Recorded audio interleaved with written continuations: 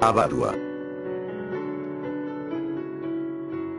En la mitología zulú, los abaduas son descritos como humanos diminutos, que se ocultan bajo la hierba donde suelen usar a las hormigas como monturas, además de tener un estilo de vida nómada, la leyenda cuenta que si alguna persona se encuentra con un abadua, se le hará una pregunta como ¿De dónde primera vez que me ve? Para lo que hay que responder diciendo que los vio desde una montaña, o alguna lejana zona, pues hay que ser extremadamente sensible a su tamaño, y si uno responde diciendo que solo se los vio en ese momento por primera vez, el abadua tratará de matarlos con flechas envenenadas, los abaduas son seres tímidos y solamente toleran ser vistos por los miembros muy jóvenes de las tribus, por los magos, y por las mujeres embarazadas, se cuenta que si una mujer embarazada en su séptimo mes de embarazo ve a un hombre abadua, se dice que ella dará a luz a un niño.